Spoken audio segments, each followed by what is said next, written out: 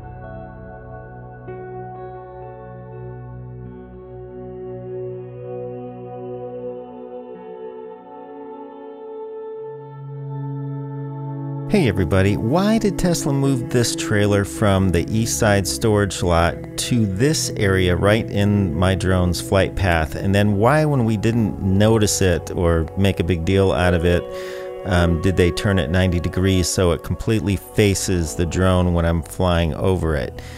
I think this company is helping with the Tesla bot, and Tesla's given us a little nod and a hint that they are working on it right now.